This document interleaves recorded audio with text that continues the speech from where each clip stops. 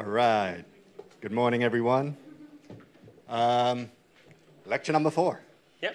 All right. All right. Welcome to lecture number four on the cosmic microwave background. So in today's lecture, we will discuss CMB tests of inflation, and in particular, what you can do with this CMB polarization. So let me start off by reminding you of what we discussed last time.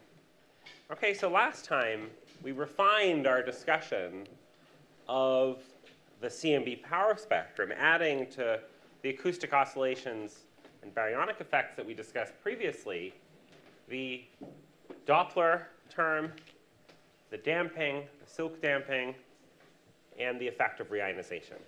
And then at the end, from this, at the end of this discussion, the final output of our calculations and arguments was the solid blue curve that you can see uh, here in my terrible sketch. But actually, I think it's you know not all that terrible. If you compare with the CMB power spectrum peaks, indeed, you see exactly the structures in the real data and in the more detailed Boltzmann code that we derived using our you know, somewhat more approximate uh, fluid arguments and adding on top of that the damping. So we've done a pretty good job at understanding why the CMB looks the way it does, and we've reproduced all of the main features. And in the second part of last lecture, we turned this around and said, you know, given that we now know the physics of the CMB, and we understand why it looks the way it does, now let's use the CMB as a tool to learn about cosmological parameters, to learn about the composition of the universe. Okay? And what's shown here is just how well this kind of procedure works. Right? It really is amazing that you know, we understand our CMB so well and our measurements are so good that we can determine the baryon density to you know, 0.02237 plus or minus 0.0015, for example, and the CDM density to you know, similar accuracy, and the, you know, the Hubble constant to plus or minus 0.5. Right? So this is extremely high precision, and it's, and it's a real achievement. Uh, we, you know, this is, this is real precision cosmology we're doing with the Planck uh, CMB measurements, and you get sort of similar uh, constraints from other experiments as well, uh, such as the Atacama Cosmology Telescope and the South Pole Telescope. So the CMB has been crucial uh, for telling us what the universe is made of. But it's also been a remarkably powerful way to test what happened in the early universe and what set the initial conditions. And we started that discussion last time, uh, but today I want to focus on testing the early universe with the CMB, and in particular, testing our best uh, current sort of model, which is inflation, using the cosmic microwave background. And start, I'll start by discussing how far we can get in terms of testing inflation with the CMB temperature, but then I'll argue that we need other observables as well if we want to continue to make progress, and I'll explain to you uh, some of the basics of the CMB polarization and why it's a remarkably powerful probe of inflation uh, through the observable of CMB B modes. Okay, let's get started. And given that there were a few questions about uh, this, I thought it would be worthwhile just quickly beginning with a lightning review of some of these sort of inflationary basics and inflationary calculations. But this will be quick. I'm sure many of you already know all this, but let's just make sure we're on the same page here before we discuss the observables in detail. Okay, so here's my sort of quick lightning reminder of, of the basics of inflation. Okay, so inflation was proposed to solve problems in cosmology at the background level, right? Solve problems like the flatness problem or the sort of more basic horizon problem of why the CMB has the same temperature even though different regions never talk to each other. And it solves these problems by invoking a period in the early universe of accelerated expansion, where the naive horizon shrinks and where the universe gets made large and uh, flat. So inflation is successful at solving these problems, uh, these sort of background problems. And usually this is done, this is achieved with a scalar field. And the picture that's usually invoked is you have a slowly rolling scalar field that's rolling down a potential. And so how do you get this exponential, uh, this, this accelerated expansion? How do you get the fact that the horizon shrinks? Well, the way this works is that the field is rolling really, really slowly. The kinetic energy is very, very small, and the energy is dominated by the potential energy, which is nearly constant along this trajectory. So therefore, the Hubble parameter is also nearly constant. So I have a nearly constant Hubble parameter, and that clearly is going to give me an exponentially uh, growing scale factor, accelerated expansion, and a shrinking horizon. Okay, so that's the sort of background story for inflation. And inflation was proposed to solve these background problems, but amazingly, soon after, people realized that inflation naturally makes another prediction.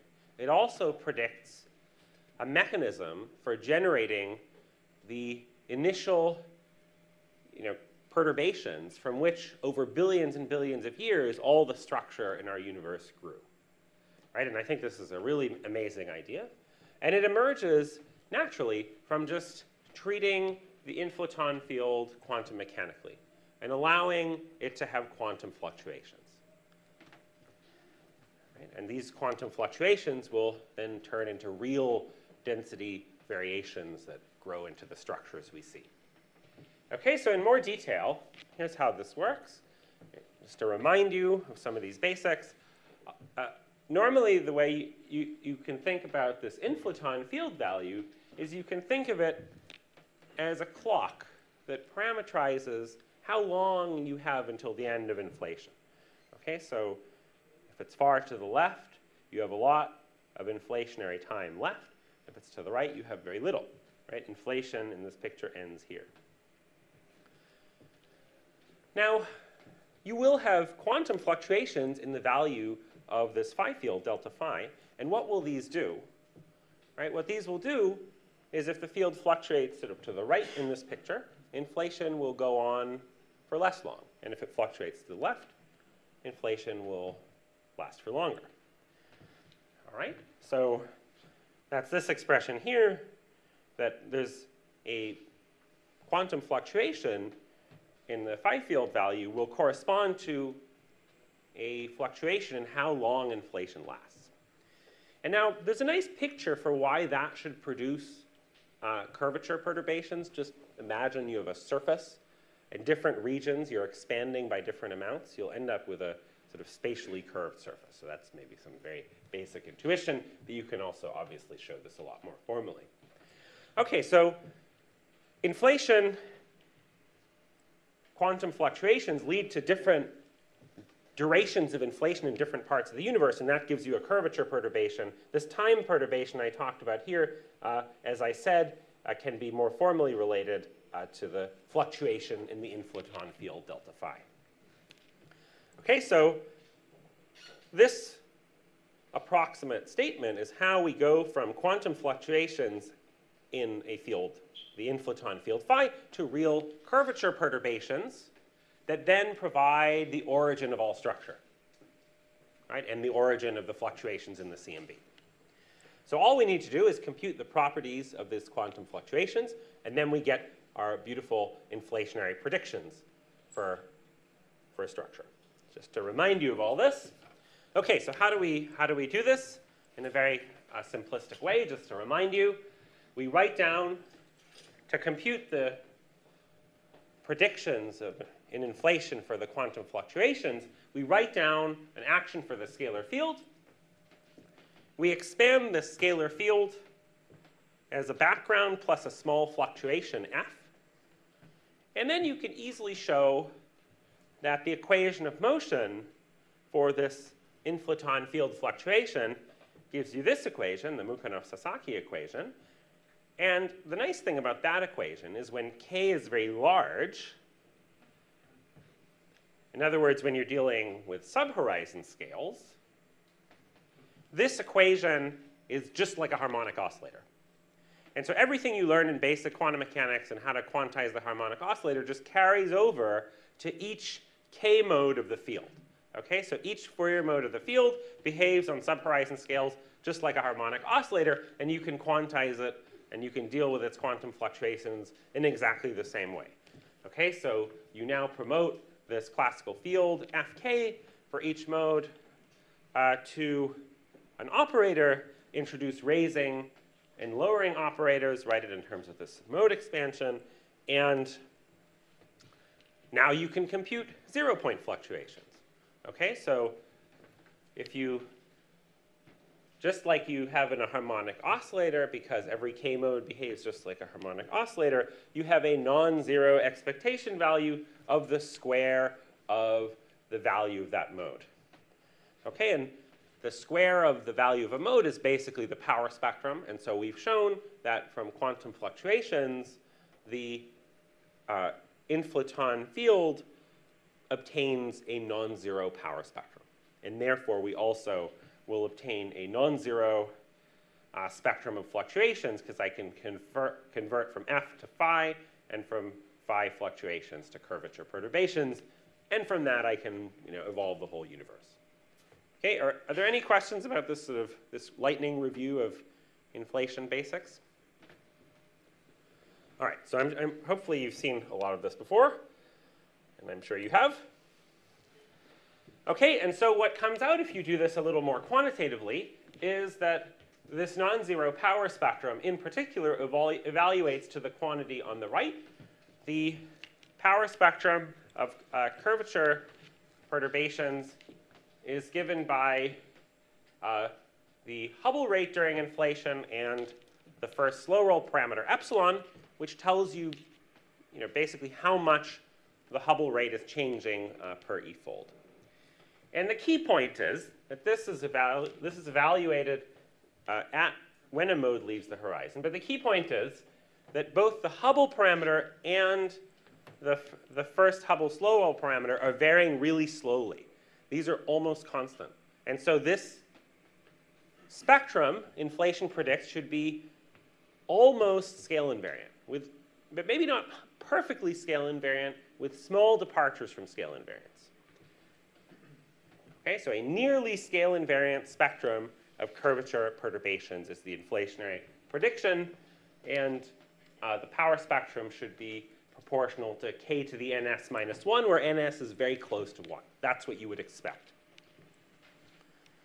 And you know, the departures come about because slow roll parameters are non-zero. The Hubble parameter is varying a little bit as the field slowly rolls down its hill, for example. All right, so that's just a review of the basics. And that's the first inflationary prediction that we will want to test.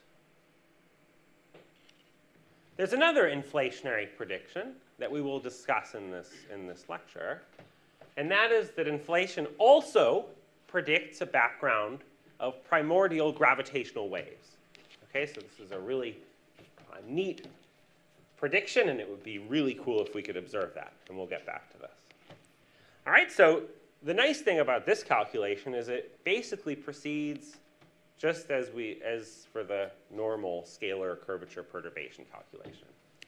So you don't just have fluctuations in the inflaton that you should consider. You can also have fluctuations in the metric. In particular, in this transverse uh, trace-free perturbation to the spatial part of the metric, EIJ. Okay, so I can write this EIJ tensor as without loss of generality in terms of two gravitational wave polarizations, F plus and F cross, that you're probably familiar with from uh, some treatments of gravitational waves that you've seen. We have these two polarization, one that's oscillating like this, and the other one that's oscillating at 45 degrees to it. And what's nice is that if you put this expression in the action, in the gravitational action, you get the exact same you know, oscillator-like equation of motion for the two polarizations F cross and F plus uh, of the gravitational waves as you got for the inflaton fluctuation F. Okay, so we can just carry all the results that we got for calculating the curvature perturbation, the scalar perturbation, over to the gravitational wave computation. Okay, so just like we found uh, for the scalar curvature perturbation, we also will get a prediction of a nearly scale invariant power spectrum of gravitational waves. Okay, so we can go through the same, you know, just like a harmonic oscillator, we quantize it, et cetera.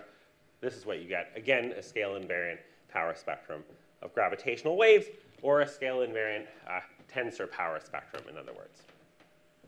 Actually, it's a tiny bit different because gravitational waves are a more direct prediction. They just get produced and they travel to us, and you don't have to do this extra step of converting from delta phi to the curvature perturbation, which adds a little bit of uh, some details. All right, are there any questions about these sort of basic inflationary predictions? Anything you want to discuss in more detail? Okay. Even if you were completely lost here, which I'm sure most of you were not, inflation predicts the scale invariant spectrum of curvature perturbations and gravitational waves. And this is what we'd like to test. Okay, so how can we test these predictions that come out from inflation? There's one question from Oh, Zoom. yeah? What would be the amplitude of the gravitational waves? Yeah, that's a very good question, right? And it depends on basically the Hubble parameter during inflation. Okay? So, or if you want to, if you want to, yeah, so, so it just depends, you know, roughly the level of gravitational waves compared to the scalars depends on the energy scale of inflation. Okay, the higher the energy scale, the larger the level of gravitational waves you produce. All right, good. We would like to test these inflationary predictions. All right, and we want to test them. Let's start off by seeing how far we can get with the CMB temperature in terms of testing inflation. So to remind you, we wrote down and we derived an expression for the power spectrum of the CMB, which was the initial condition power spectrum times the transfer function squared, okay, with a certain k, uh, with, k evaluated at uh, L, e, L over chi. Now, we also derived that the large scale limit of the transfer function is this. This is the, the, you know, our most detailed computation with baryons. And the transfer function is just this expression uh, without r. And so if you take the low k large scale limit, or more precisely, you take the limit where KRS is much less than 1, which is the superhorizon limit, this transfer function for the Sachs-Wolfe term just approaches a constant, a constant of minus one-fifth. Okay? Now that's kind of amazing, because it means that if we're looking on scales where KRS is much less than 1, in other words, on superhorizon scales, this corresponds to multiples of L below, you know, significantly below 100. Then that transfer function is a constant. In other words, we are seeing the primordial modes. Okay? When you look in the sky in the CMB on really large scales, you're seeing, you know, the initial conditions basically, right? Without any causal processing. And- to some extent that makes sense, right? Because if I'm looking at fluctuations over scales that are super horizon, causal physics, pressure forces, all you know, all these sorts of things can't have messed um, with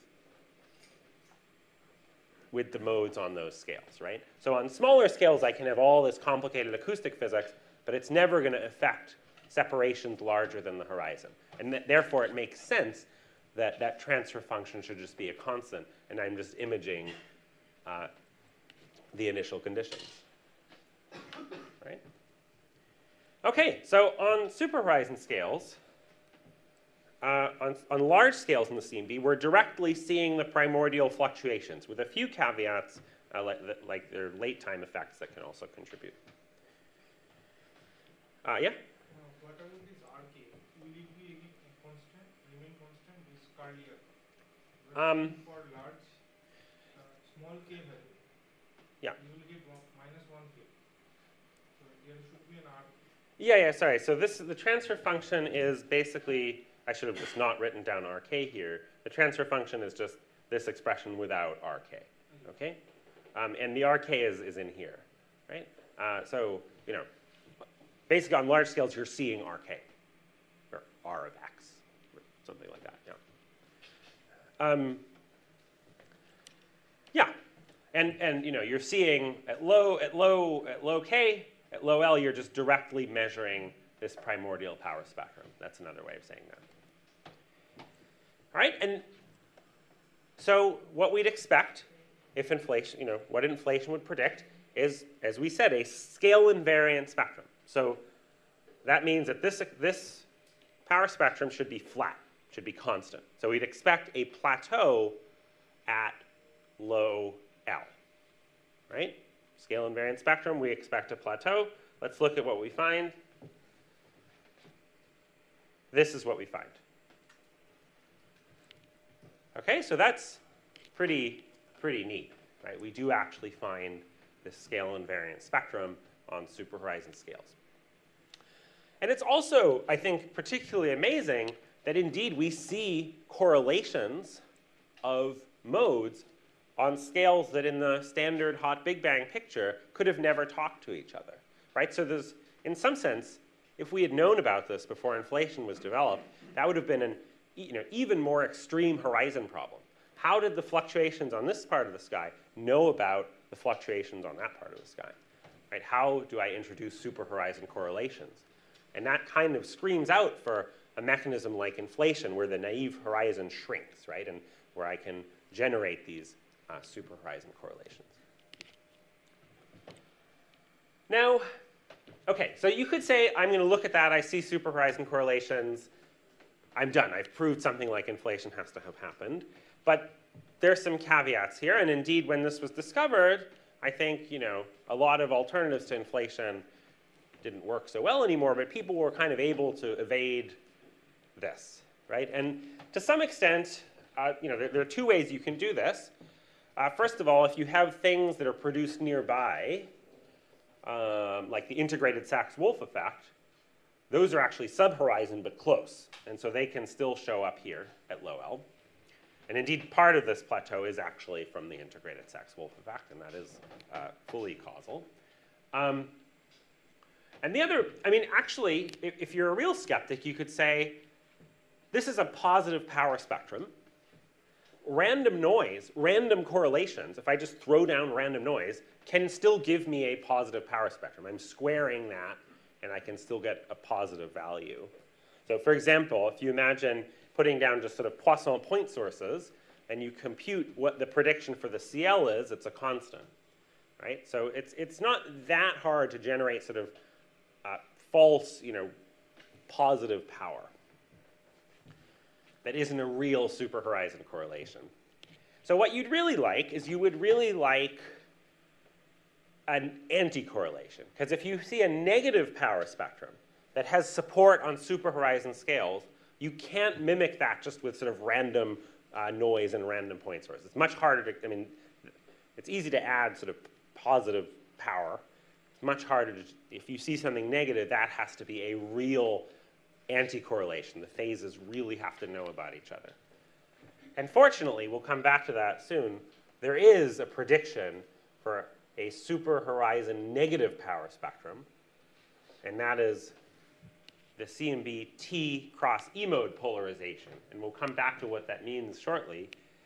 But you know, these data points here look very unassuming. The fact that below L of 100, there, there are negative data points doesn't look like much. But that is, I think, very strong evidence that something like inflation has to have operated. Something has to have set up an anti-correlation between fluctuations in this part of the sky and in that part of the sky that naively never talk to each other. So I think that's very strong evidence. All right, any questions about that? Okay. Right, what else can we test with the CMB? Uh, in particular with the CMB temperature. Well, we can further test this prediction for the spectral index. Remember we talked about the fact that inflation uh, predicts an almost perfectly scale invariant spectrum, but not quite. So it's almost scale invariant, and S should be really close to 1, but not exactly 1. And again, we talked about how we can measure uh, the tilt, the spectral tilt, the spectrum of the initial condition power spectrum just by looking at how the CMB power spectrum is sort of pivoted. And what we see in Planck is this. This is the Planck measurement, and it's exactly you know, what you would expect. It's something that's close to 1, but not quite. Uh, 0.967 plus or minus 0.06. Right, so I think that's, again, a nice uh, confirmation of the inflationary picture. Can I quickly ask? Yeah. So, and uh, it's obvious that the small departure from one should have been ne- so ns should be less than one and not more than one, or Um, not. I, I don't think that's tr- necessarily true, right? So I think, I think you know, ns minus 1 depends on uh, two slow roll parameters, right? Two Hubble slow roll parameters, uh, epsilon and eta. And uh, yeah, I, th- I think you could, uh, you know, I think, I guess epsilon, you should expect it to be rolling down the hill. So if it were dominated by epsilon, you would expect it to be negative. But it, I think now we know it's actually dominated by eta, so I think it could have had either sign. I mean, Meridad, do you agree? Yeah. So I think it just should be close to 1. It's not so clear that it should be uh, less than 1. Okay, uh, good. So this is what Planck measures. There are also lots of additional tests in the CMB temperature uh, that inflation, where inflation has made uh, predictions, to some extent at least, and that have all successfully passed. So from inflation, because you just have one degree of freedom in the beginning, a, a scalar perturbation, you should only generate adiabatic modes that are fully described uh, by a sort of time translation or more hand-wavily that you know, the composition of the universe should be the same everywhere. Okay? You know, the ratios of baryons to dark matter. Um, and you can test that. And you can test whether I only have adiabatic perturbations or whether I could have isocurvature perturbations, perturbations where the ratios of the different substances vary.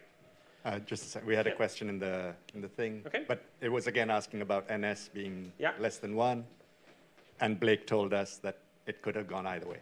Okay. Um, right. So you could have, you know, if you have something that's not inflation or more complicated sort of multi-field models, you could have, you know, variations in the composition of substances uh, from point to point, and that's what we sort of call uh, isocurvature perturbations. And those produce a, a different CMB power spectrum. And so the way to understand that is we talked about how normal inflation, standard single field slow roll inflation, just makes a pure cosine mode because that initial condition is constant and set at early times, and it's not evolving. But if I have isocurvature perturbations, you can show that then you no longer have a perfectly conserved and constant initial condition. It can start to vary, and it'll excite some degree of the sine oscillation as well. All right, so you won't just get a pure cosine transfer function. You will get some sinusoidal transfer function as well, and you can look for that, and you don't find it. Okay, so there's no evidence for anything but adiabatic perturbations. And in addition, single field slow roll inflation produces a very small level of uh, non-Gaussianity.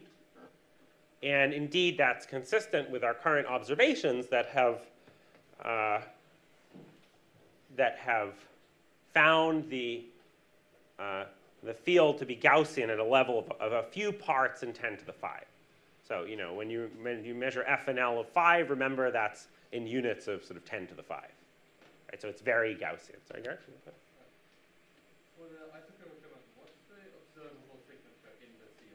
Yeah, so, I mean, basically, uh, if I recall correctly, it's just that you, you, know, you excite some sinusoidal um, part in the transfer function as well.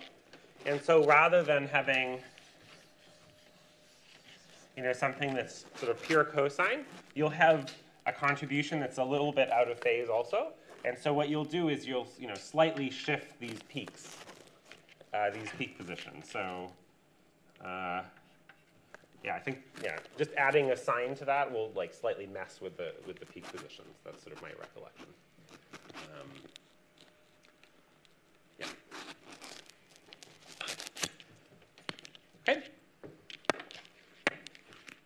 All right, so, so far, inflation has been uh, quite successful in terms of its predictions, but we would like to uh, test it further, and we would, all of these tests have been at the level of the sort of scalar perturbations. What would be really cool is if we could test the prediction of the gravitational wave background from the early universe. All right, that would be really amazing. And not only would it be a great confirmation of inflation, arguably you could argue that, you know, you could argue that there's already been a ton of tests.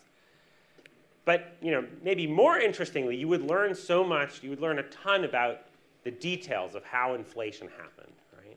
So it would be, you know, the smoking gun evidence, but it would also tell you a lot more about uh, some of the details. For example, as I mentioned earlier, we would learn about the energy scale at which inflation happened if we could detect this background of gravitational waves.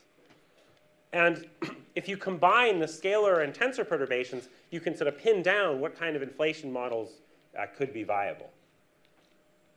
So that's really powerful. It's amazing that we'd be able to constrain physics at you know, energies a trillion times higher than the LHC, but it, but it is possible. Okay, but so how can we find, how can we go after these inflationary gravitational waves? All right, so we want to test this inflationary prediction that at some level at least, you should produce gravitational waves in the same way that we produce scalar perturbations. Now, the most simple-minded thing you could do is you could say, well, why don't I just look for patterns in the CMB, uh, in the CMB temperature?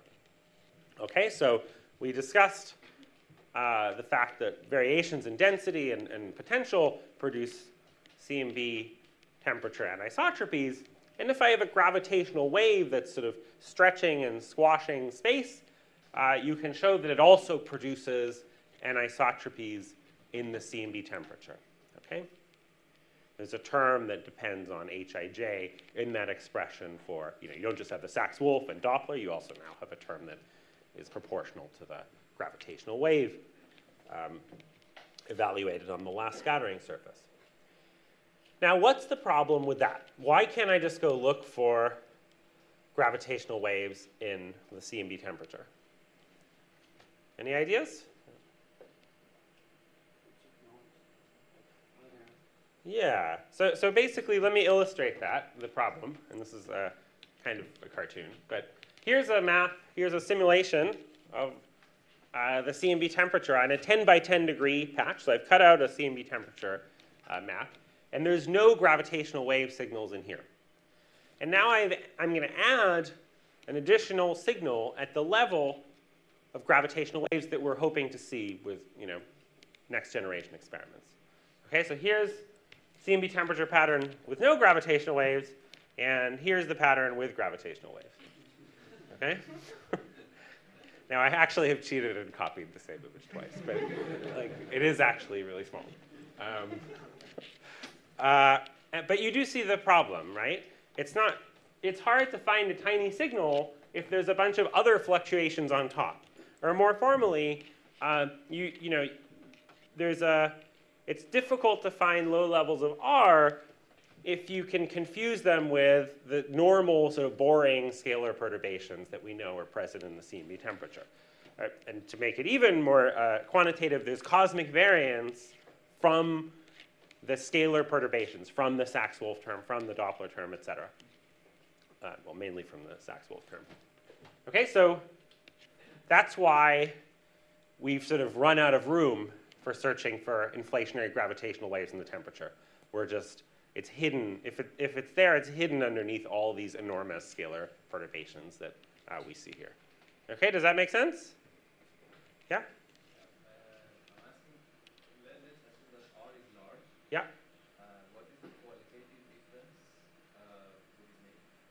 Yeah, so, so um, it will basically change the, the, the spectrum of the, it'll change the CMB power spectrum. And in particular, it'll boost the amount of sort of large scale fluctuations that you have. So there's sort of a pretty red spectrum. And so there'll be sort of more large scale fluctuations. Um, yeah. Uh, but but you know, as I said, we, we now know the levels are small enough that you, you won't see that. Okay? A question in the chat said, are these gravity waves from The Big Bang. the Big Bang? Yeah. Yeah, I mean, I, I guess if you, if you say that the phase of inflation is before the hot Big Bang phase, then they're gravitational waves from before the Big Bang, if you want to make it sound really dramatic. But basically, they're gravitational waves produced during inflation. All right, so we've run out of room to look for these inflationary gravitational waves in the CMB temperature, and we need to come up with a new observable uh, to look for them in. And that's where the CMB polarization comes in. And the CMB polarization is generally just an amazing CMB observable. Okay, so that brings me to the second part of my talk. Let's introduce the CMB polarization, discussing the basics of what produces CMB polarization, and then talk about um, the spectra. And finally, we'll talk about testing inflation with a particular type of polarization, the CMB B modes. All right, basics of CMB polarization. So we know that the CMB is weakly polarized. We can measure this, and we've measured it for some time now, and it's polarized at the 10% level. And that's shown by this uh, this image from WMAP, this is one of the you know, earlier measurements of CMB polarization. And you can see you know, the direction in which the CMB is polarized represented with this, these sort of, this map of rods, right? The rod tells you which direction the CMB uh, light is linearly polarized in, okay? And the magnitude tells you the strength of the polarization. So why is the CMB polarized? Why would the CMB be polarized? The short story is the CMB is polarized by scattering of anisotropic incident radiation. Okay, what do I mean by that?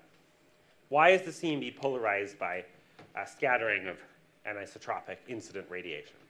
Okay, so what I'd like you to imagine is that this uh, this screen is the last scattering surface. So this is a small segment of the last scattering surface. And this green dot there is an electron that's sitting at the last scattering surface.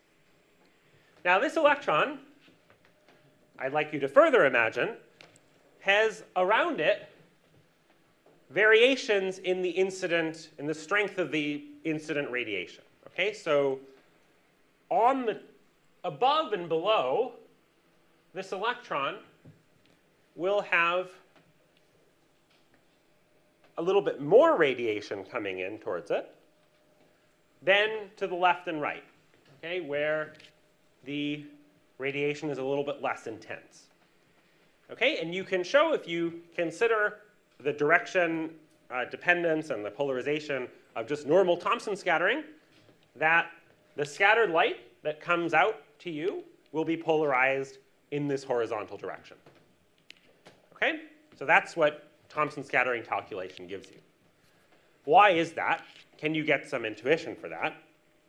Um, well, if you look at dipole radiation from a moving, uh, from an oscillating charged particle, what you find is that it's, the polarization is pretty simple. If the particle is moving this way, it emits light that's polarized in the plane of oscillation. Okay, so if this electron is, is oscillating this direction, the polarized light will be also polarized horizontally. Kind of makes sense. On the other hand, if the electron is moving up and down, you'll produce polarization that's going up and down. So the question is, if I have this kind of setup, where it's hot above and cold to the left and right, which way is the electron going to oscillate? Any ideas?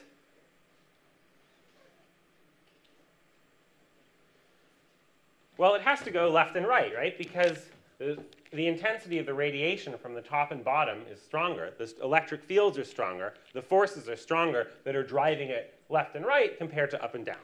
Okay, so if I have this kind of radiation pattern, the electron is mainly going to oscillate in one direction, and I mainly will have light that's polarized in this horizontal plane, in this horizontal direction. Okay? So that's why, because the sort of forces on the electron are different, I get polarization if I have a quadrupolar uh, temperature variation that an electron on the last scattering surface sees. Okay, does that make sense? Yeah? Why don't you see circular polarization? What's that? Why don't you see circular polarization? Yeah. Um, I guess to have circular polarization, you need a sort of phase. You need this thing to, you, you need, I think you need the electron to sort of orbit in this way. And that's very difficult to arrange with thermal emission that you know, doesn't have a certain phase coherence, right? You're just, uh, but it's a good question if I can get some, I can, I can prove this, but uh, that would be my sort of more intuitive argument.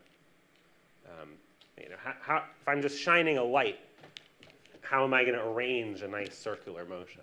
That, that seems difficult. Okay. Um, good. Let's continue. A quick question Do higher multipoles also cause polarization?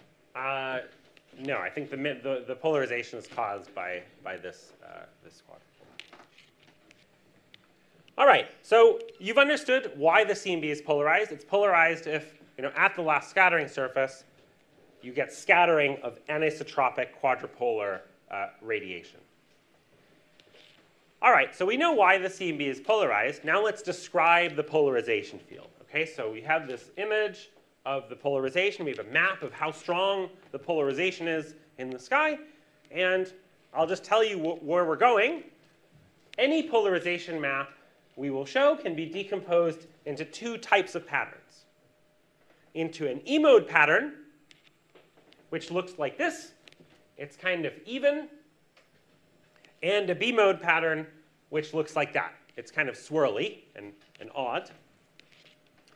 And the interesting thing about this decomposition is that all the sort of boring known scalar perturbation physics only makes E-modes whereas gravitational waves make both. And that's why this is a great way, looking for B modes is a great way uh, to look for inflationary gravitational waves without all this other background. Okay, so that's sort of where we're going. And, now I'm going to supply the details. Although, there, is there a question about the big picture?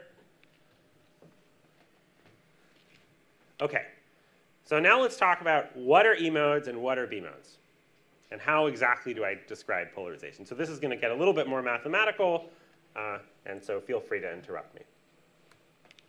Okay, so let's start by just the very basics. How am I going to measure polarization on the sky?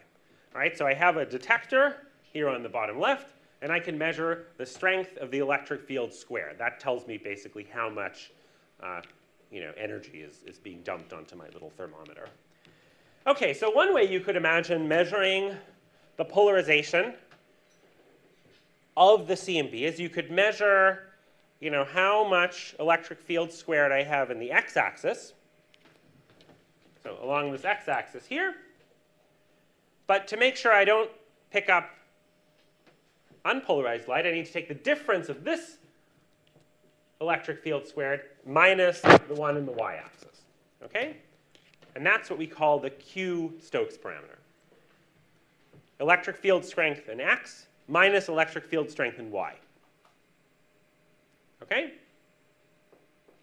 And polarized light, if it's polarized in the x direction or in the y direction, it will produce Q, non-zero Q. Now, am I done in describing the polarization? Well, clearly not because I have a magnitude and a direction, so I need to have two degrees of freedom, but also more physically, let's just say I orient my detector like that, but I have some polarization in this, in, in say this direction, which I've written as A, then I'm not going to produce any Q. Okay, so there's, uh, if it's polarized that way, there's equal amounts of x and y polarization and equal amounts of x and y electric field, so Q will be zero. So if I want to fully describe polarized light in all directions, I need to add an additional Stokes parameter called U, which is basically the same thing, but in a coordinate system that's rotated by 45 degrees. Okay, and that's, I'm going to introduce this A and these A and B axes, and I'll call U EA squared minus EB squared. And that's what I can actually measure. I can, I can literally have two sets of detectors, one set of detectors measuring the difference in this axis minus that axis, and then another set of detectors rotated by 45 degrees. We call them Q and U detectors. Okay? So now I'm done. I can take my CMB experiment and I can make a map of the Q and U polarization across the sky. And that's indeed what we, what we make in CMB experiments. Uh, we send around maps of Q and U. The problem, though, is that the, what I call Q and what I call U is coordinate dependent. Okay? So if I rotate my coordinate system up away from the x-axis here by an angle uh, phi, then Q and U transform with this kind of rotation matrix here.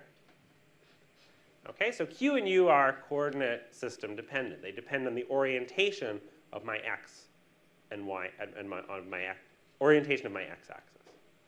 And so I think, you know, in Eiichiro Komatsu's CMB lectures, he says, you know, he tells the story about two experimenters who get in a fight to the death because one person measures the CMB polarization in a direction says it's Q, the other one says it's U, and then they kill each other, and then they realize that their experiments were just wrote off by 45 degrees. They're different, you know, they're. Uh, so that is a problem. You know, now everything we measure is, polar, is coordinate system dependent. And we would like to come up with a way of describing the CMB polarization that just like the temperature doesn't depend on you know, me pointing my coordinate system and my detectors in a certain direction. All right, now, how can I do that? How can I, you know, but you know, there isn't a perfect coordinate system in the sky. Any ideas how I could make these Q and U polarizations coordinate system independent? Or is there some physical coordinate system I could use?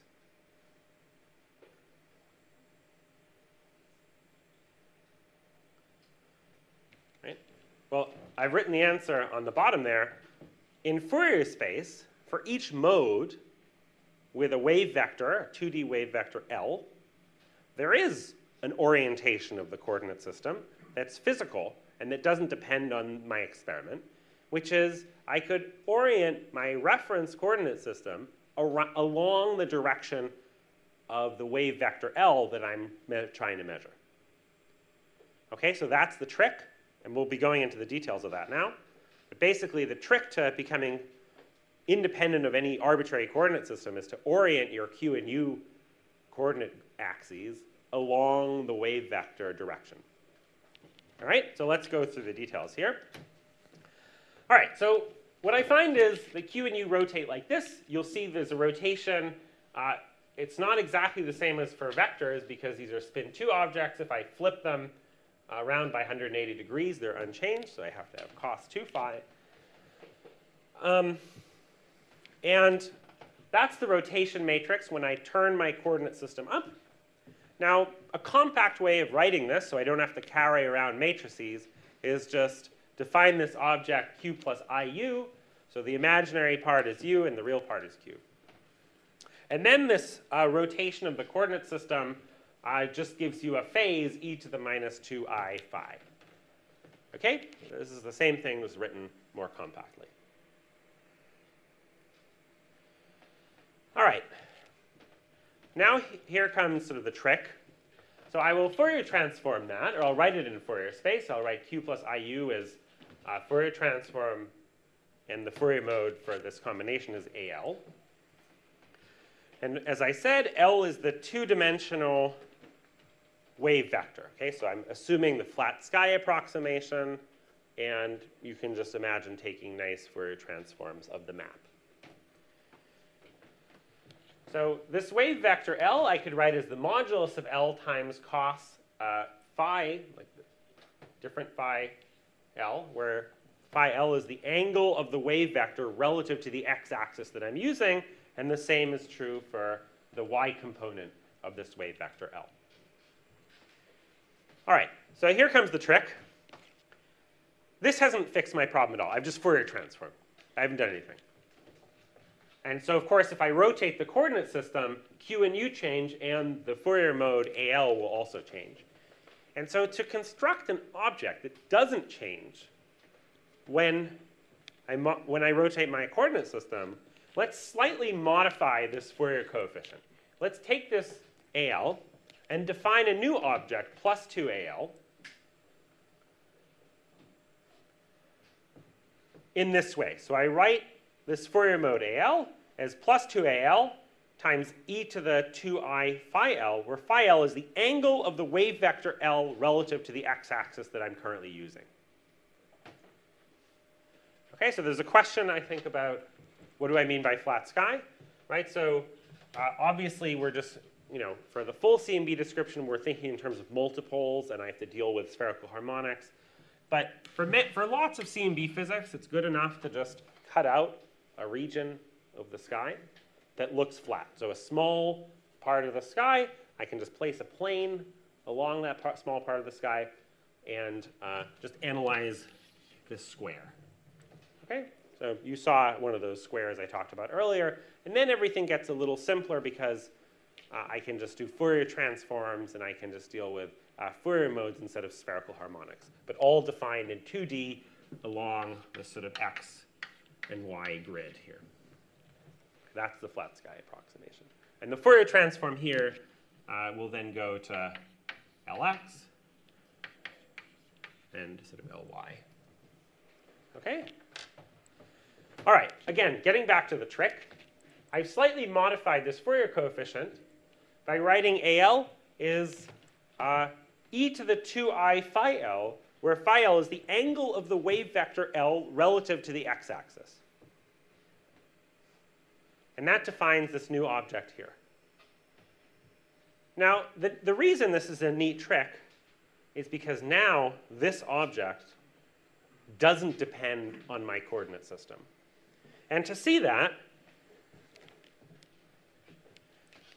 if phi L here is the angle of that mode L relative to the, the x-axis, and I rotate my x-axis up, then the angle decreases by an amount minus phi. So under rotation, the angle of the Fourier wave vector relative to my x-axis gets changed to phi L minus var phi. Okay, so if I, it starts out with this angle and I rotate it up, the angle with respect to the x-axis decreases. Okay, does that make sense? the angle relative to the x-axis decreases if I rotate up my x-axis. And the point is that now, with this uh, tricky definition, I get the same factor, the same phase factor appearing on the left-hand side for q plus iu when I rotate my coordinate system as I get on the right-hand side uh, for this plus 2al thing. Okay? I get, when I rotate in, on both the left and the right, I get this minus 2 i phi. Sorry, this minus 2 i phi should be underlined here. All right, so by introducing this new object that depends on, that, it, that has a factor of the angle of the Fourier wave vector with respect to the x-axis, I have now made this object plus 2al coordinate system independent. Okay, so you know I'll post these slides and you can think this through, um, and it does actually work. Okay, are there any questions about that?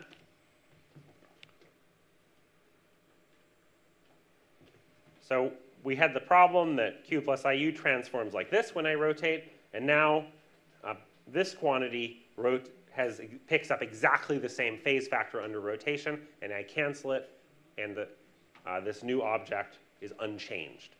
So I have now found an object that doesn't depend on the orientation of my coordinate system. And this object I will call uh, E plus IB. Okay, and where E is sort of the real part of that object and B is the imaginary part. Okay? And so, therefore, we've introduced these E and B modes that are coordinate system orientation independent. And this, then I can do the same for a minus sign for q plus iu, and I get this expression with pluses and minuses.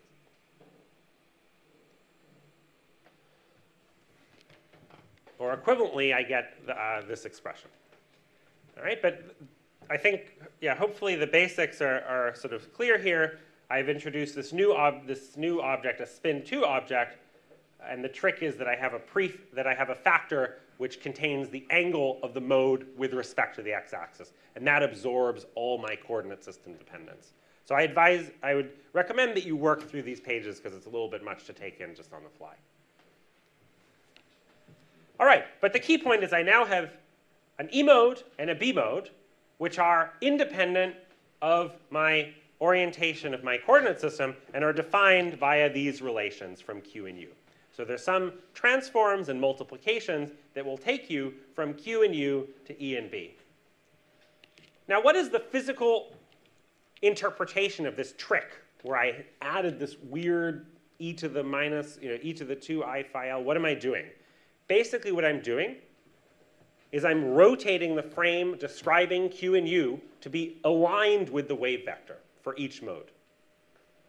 And then it's uniquely defined. Okay? That's the trick. Does that make sense? There's a special frame direction aligned with the wave vector. I define Q and U relative to that direction. And then I get um, E and B modes. And E and B modes are Q and U relative to that coordinate system. They're relative to the coordinate system aligned with the wave vector. All right, let me give you a little bit more intuition for what E and B are. Okay, so if we consider one mode aligned with the x-axis here, then Q is just EL e to the ILX, and so the E mode just looks like this. Right, so I have a positive Q, negative Q, etc. And the B mode is not parallel or perpendicular to the wave vector, but it's now oriented at 45 degrees.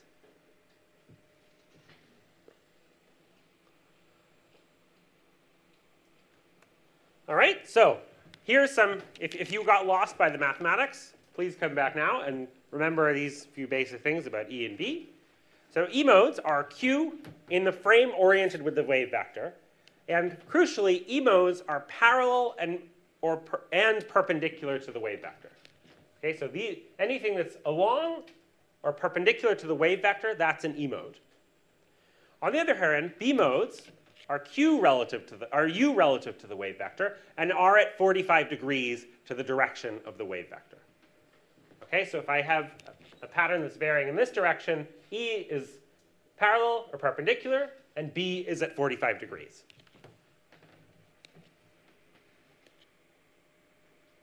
Okay, does that make sense? Any questions about that sort of basic statement?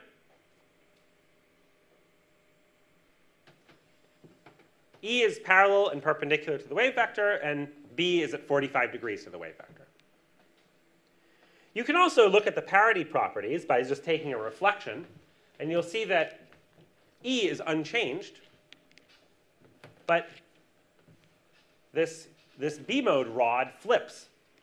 And you can go back to the definition and see that that becomes minus B, right? U goes to, if I rotate by, uh, by 90 degrees, it becomes minus U. Right? So we conclude that E modes are parity even and B modes are parity odd.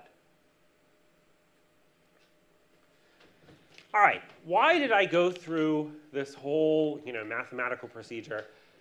Well, first of all, as I said, we don't want those experimenters to fight to the death about what's Q and U. We want to have something that's coordinate system independent, and that is nice. But there's actually a, a, a much more important reason why we do this E and B decomposition. And that reason is the following. By symmetry, scalar perturbations only make one of these two types of polarization. They only make E modes. And that's super important for finding gravitational waves. Okay, so why do scalar perturbations, the normal types of normal types of perturbations that we uh, see and that come from a curvature perturbation, why do those only make E modes? Well, you can see that by imagining a section of the last scattering surface, and let's just say there's a density wave going through that. By symmetry, this density wave can only produce patterns that are either along that wave vector or perpendicular to it. I can't just randomly orient the polarization pattern. That would sort of break the symmetry that this configuration has. Okay? And scalars just have you know, one degree of freedom for each mode, just an amplitude. I don't have any other degrees of freedom that I can use to introduce any kind of deviation from the symmetry around the wave vector. So everything I produce with a scalar perturbation that just has an amplitude has to be symmetric around the wave vector, and therefore either parallel to the wave vector or perpendicular to the wave vector, as you can see in this uh, polarization pattern that's actually produced by this density wave. And so, parallel or perpendicular to the wave vector, that means E modes. And the same is true if I superpose many different modes. Scalar perturbations, by symmetry, can only produce E modes. I don't have enough degrees of freedom to do anything else. Yeah? Sorry. Uh, I know that degrees of freedom are limited with respect to k vector. Yep. But we have lots of k vectors in different directions, so Yeah? why? Uh, Well, right. Yeah. I should be able to Repeat- analyze can- can you repeat oh, the yeah, question? Yeah. So you understand that um, degrees of freedom are limited for one k vector, but I have many k vectors, so don't I have enough information to produce B? I, I think the answer is that you know I should be able to analyze the linearity of all the equations means I should be able to analyze one, you know, one k vector at a time, and then superpose those, right? So if this holds for one, it has to also sort of hold for the superposition, right? Uh, so I, I, I can't, yeah, I, I can't, I can't do that. Um, and I, I should be able to analyze each wave vector at a time. Right, so that wave vector, that particular mode, all I can tell you with a scalar perturbation is an amplitude. And that's it. I have no information to add other directions. All right, and it's different for B modes. And, and, and it's different for, uh, sorry, it's different for gravitational waves. And I'll come back to that in a second. All right, let me just produce a quick aside about E modes. E modes are really cool cosmological observables. All right, um, they are because we can, you know, they're produced by scalar perturbations, and for gravitational wave searches, that's annoying. But for other cosmology, that's really cool. We can measure E mode power spectra. We can measure E modes crossed with temperature modes. And indeed, um, you can do really cool stuff like you predict the E mode power spectrum based on a fit just to the temperature, and it works perfectly. And you know, you can see here the temperature power spectra are now more, more and more being complemented by E mode power spectra and temperature cross E mode power spectra, TE power spectra. So we now have these new sources of information and that are being mined. Uh, right. Just as an aside, maybe uh, I don't have that much time, right? I only have like 10 more minutes. Okay. Uh, if, if you want, I can explain to you why this, uh, um, this E mode power spectrum has, looks like a sine oscillation. There's a justification that I'll leave on this slide uh, for why it's a sine. Basically, you can prove it looks like the velocity because if I want to generate a quadrupole, I can generate that quadrupole by expanding the velocity to leading order, but I have to go to second order to generate a quadrupole for the density perturbation. I'm going to just gloss over that, and I'm happy to take questions on that. All right, the key point is E modes are useful, And scalars only make E modes. Scalar perturbations can only make E mode patterns. They don't have enough degrees of freedom. On the other hand, gravitational waves do. Gravitational waves have enough degrees of freedom to not just produce E modes, but they can also produce B modes. And so why, you know, why do gravitational waves have, why do tensor perturbations for each mode have more freedom than scalar perturbations? What, what is that additional degree of freedom? Oh, where tensors. Yeah, but sort of physically. Right, so there's a polarization direction that, that gives us additional information. Okay, so yeah, polarization. There we go. Thank you. Um, yeah, so gravitational waves. Now I'm, you know, with scalars, I have a mode that's intersecting the last scattering surface. There's just an amplitude, and everything has to be symmetric. With gravitational waves, I now, you know, have a polarization direction that I can choose, and I can choose to orient that so that I also generate patterns at 45 degrees to the wave vector. Right? I have more freedom, and I can, uh, depending on how I orient my polarization, I can generate both patterns. Okay, does that basic idea make sense? Right? E modes are perpendicular and parallel to the wave vector. Scalars don't have enough degrees of freedom. By symmetry, they can only make E, but gravitational waves now I can you know, mess around with the direction of polarization, and I can also generate uh, B modes. All right, and that is why looking for B modes is you know, currently the best way of looking for inflationary gravitational waves. All of the boring scalar perturbations only make E modes. And all of these patterns are locked up in the E modes. And the B modes are this pristine null channel with nothing in them.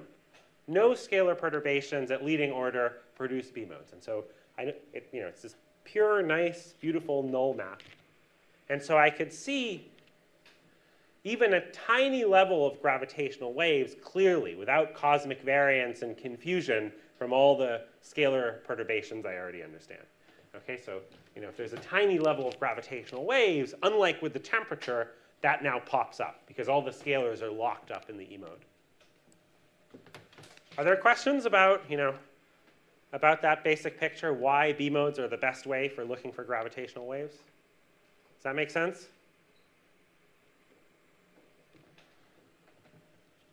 All right, and that is why looking for these gravitational wave induced B modes is you know, the main effort or one of the major efforts of CMB research uh, in the next decade.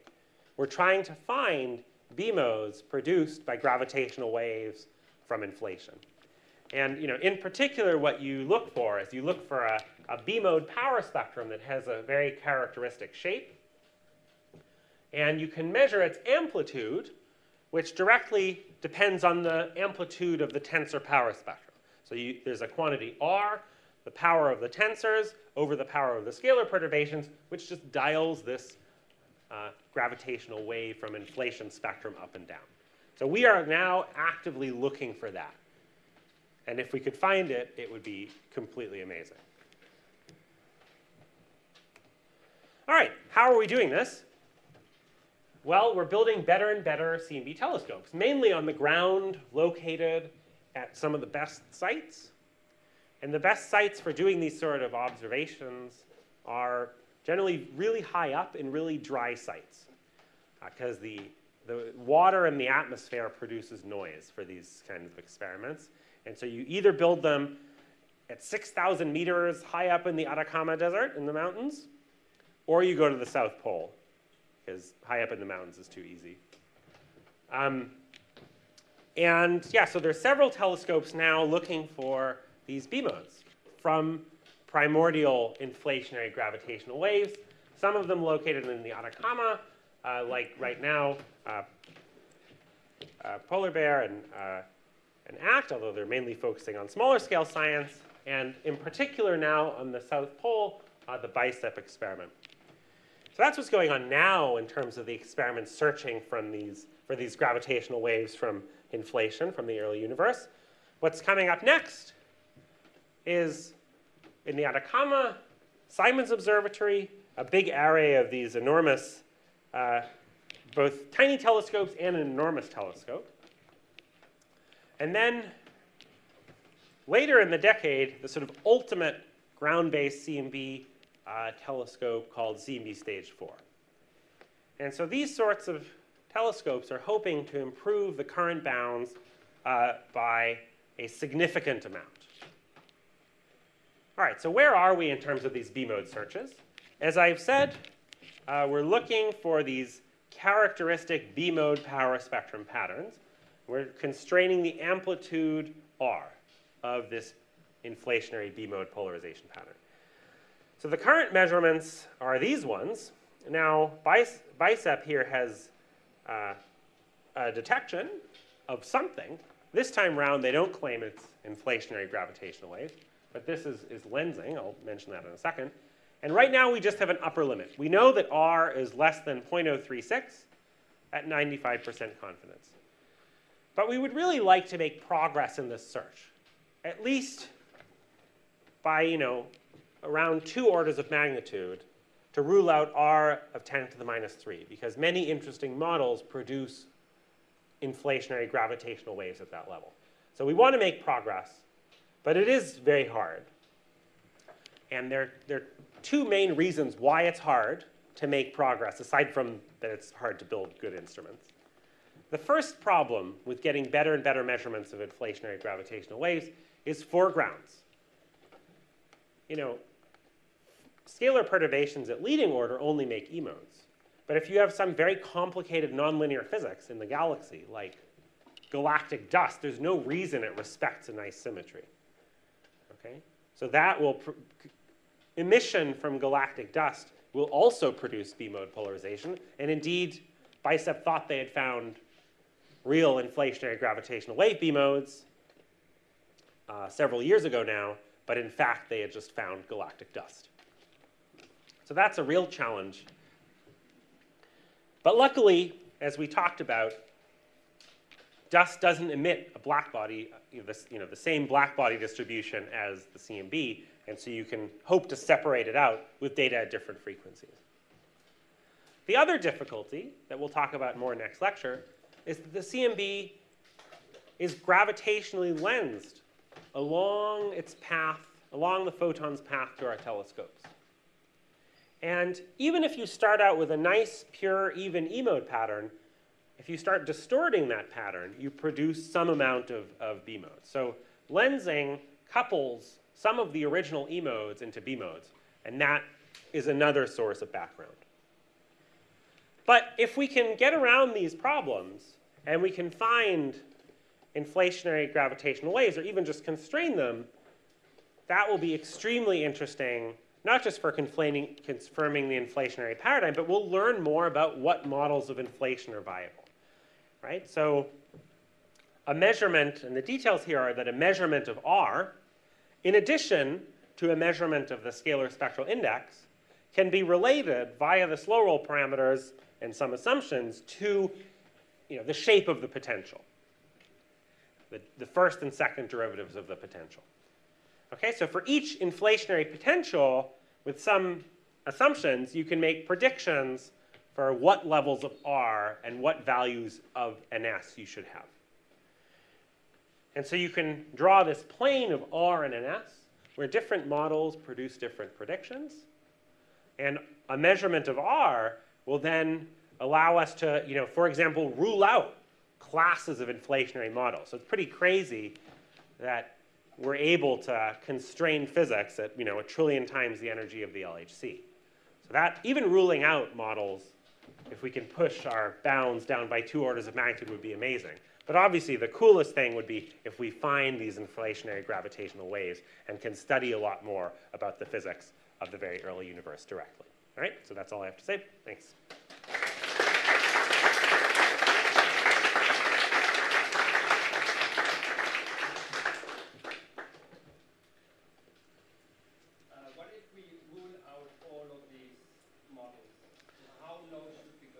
Yeah. Re remember to repeat. Oh, sorry. So, what? Right. The question is, what if we rule out all these models? How low should we go? Um, yeah, before we give up. I mean, It's a, it's a good question, and there's a similar question in several observables in, in cosmology, like W. How close to W is minus 1 do we go? Uh, I think to some extent, there, for this R case, maybe there's some obvious targets. Just, you know, both NS, NS minus 1 depends on, uh, on two slow roll parameters, right? And R just depends on one of them. So, you know, you'd probably want to go, we've already ruled out signals of order ns minus 1 for R. So you'd probably at least want to go towards, you know, that squared. And that's sort of the target roughly that we're going after now. Um, but yeah, it's a good question how much further you want to push. To, to some extent, what you're showing is that there's a hierarchy between this, you know, okay, if ns minus 1 is not tiny. It's a few percent.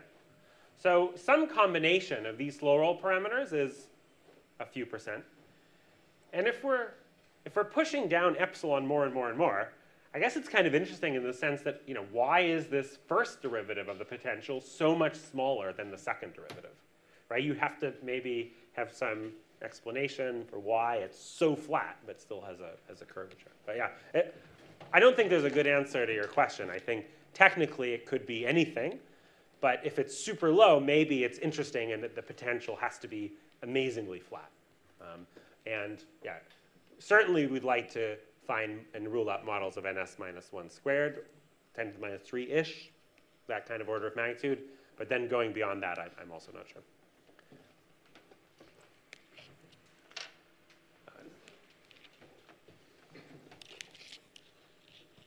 So, you, you said that uh, uh, B mode can be generated from the E mode due to the lensing, right? So how you can distinguish these two B modes uh, from inflationary and uh, from? Yeah, uh, that's a great question, and we will talk about that next time. Um, so effectively, we have other ways of measuring the gravitational lensing that produces this Okay. lensing B mode, and so we can sort of figure out what the B mode from lensing should be, and, and actually even remove it.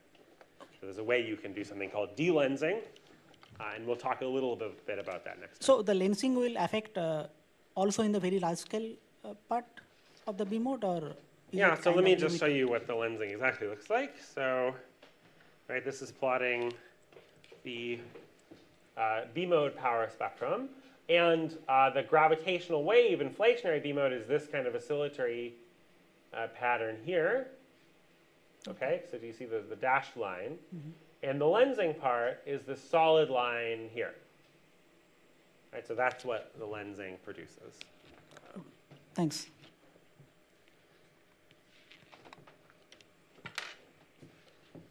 So there was another question in the chat, Okay. uh, which was, can you distinguish the E mode that is primordial from anything else? E mode that's primordial from anything else. So Uh, you mean, is there a problem with distinguishing the primordial, like the original E mode polarization from foregrounds? I assume that's what they Right, yeah. Yeah. So, so why jump all the way to B modes? Well, right. So, so B modes are particularly useful if you want to go after gravitational waves because they're not produced by scalars, and so you don't have this confusion in cosmic variance from the, the scalar perturbations if you want to go after tiny levels of inflationary gravitational waves. But obviously, it is true that, the, as I said, the E mode power spectrum uh, here is an amazing cosmological observable, um, and you know we can learn a huge amount from it about cosmological parameters. In fact, for some cosmological parameters, it has more information than the temperature because it only has a sine term, and so it's more strongly peaked. So it's actually a more powerful observable. Okay, but the question was, you know, do I have to worry about non-primordial sources of E mode as well? And the answer is yes, I do. But generally, the dust will make similar amounts of E and B. And if we say that the, you know, the, the problem for the dust is, means that the dust is sort of at the level of the B modes, the E modes are much larger. So, you know, compared to the signal in the E modes, the foregrounds are a much smaller problem, right? So the foregrounds are similar in E and B, but the E mode signal is way larger, so you don't have as much of an issue. That's sort of the short answer. But yes, we, you do have to worry about it a little bit. You do have to do uh, some foreground cleaning and foreground testing to make sure even your E mode power spectrum, even though it's so large, you still need to make sure it's, it's not contaminated by dust, for example. So it is still a problem. Signal's bigger, less of a problem.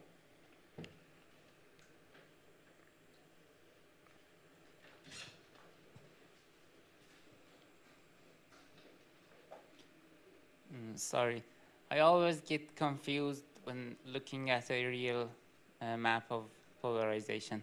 Okay. I can't distinguish between E mode and B mode by looking at those maps. Can you? Uh, At the actual more about- maps, Yeah, yeah. In a I- real map that we see.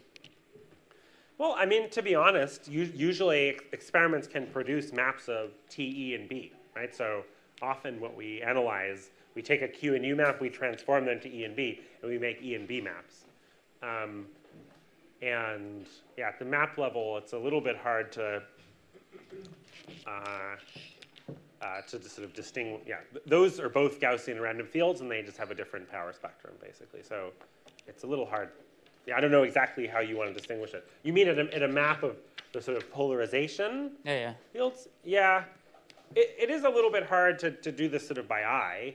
Uh, I mean, basically, if you see there's a variation, let's just say there's a variation in the strength of polarization in a certain direction, then, you know, as I was saying, you need to look for patterns that are along or at 90 degrees to that direction of variation. Um, that's sort of the best I could say. I, I guess, I guess another feature is this kind of that B modes, because of their parity odd nature, produce sort of more swirly patterns. That's if, if you want to have a kind of heuristic by eye guide to what's a B mode.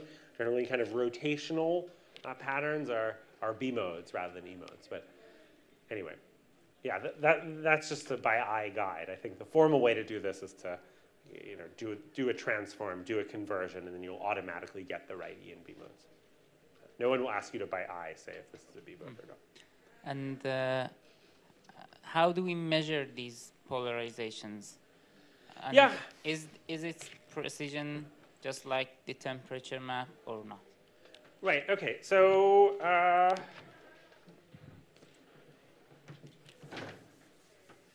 uh, right, basically, if I measure, uh, how do I measure a temperature map? Effectively, I measure the incident, the strength of incident radiation uh, based on how much it sort of heats up uh, a thermometer.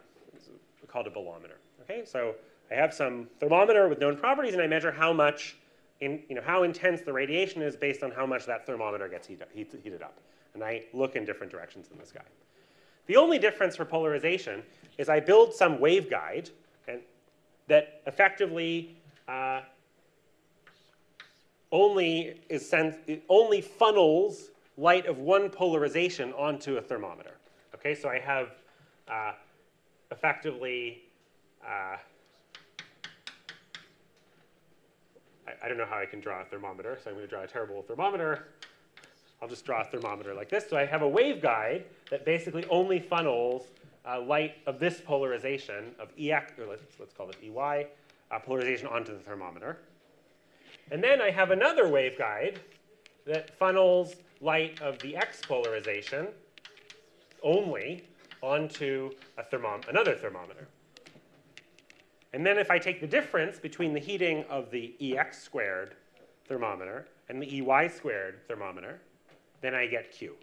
Okay, so I take, you know, basically Q is, uh, well, I, for, I, for, I forget the sign here, but I basically difference, difference the heating of the two thermometers, one of which is sensitive to this polarization, the other one is sensitive to that polarization. And, and, and then I have to, so that's like a Q detector. And then I have to build another type of detector, which is this thing that's rotated by, uh, by 45 degrees, right? And I mean, I can show you again one of these bolometers. Let's see, where is the bolometer? So here's a picture of, I think, an actual bolometer. and I believe what happens here is that uh, you know you have these two detect these two waveguides are basically uh, this set here and this set here will go onto different uh, thermometers or different bolometers. And so this one is sensitive to polarization up down, and this, this is sensitive to polarization left right. But the basic idea is two waveguides sensitive to two different polarizations lead to different bolometers, and I take the difference, and that gives me Q, and then I have another set of detectors that measures U. Sorry for these terrible drawings. Uh, is circular polarization uh, distinguishable this way? Uh, no. Um, I think so. Here, you, I, I think you'll get zero response from circular polarization. I think there are, if you want to measure circular polarization, there are ways to do that. I mean, I think I think you can. You know, you, you need to introduce a phase shift to one of the polarizations, right? And so there there are ways, there's sort of ways of doing that. So you, you can build, for example, interferometer. You can build funny sort of path lengths of the photons that introduce, you know, exactly the what I, I forget what phase it is, like 90 degrees, or something like that, 45 degrees. Anyway, you, you can introduce optical elements that will will will do this. We'll, we'll introduce a phase shift, and then you will you're, you're able to, with the same technology, uh, measure circular polarization. Um, so yeah, you, you can do that. Let's break for coffee. See you back at 11:15.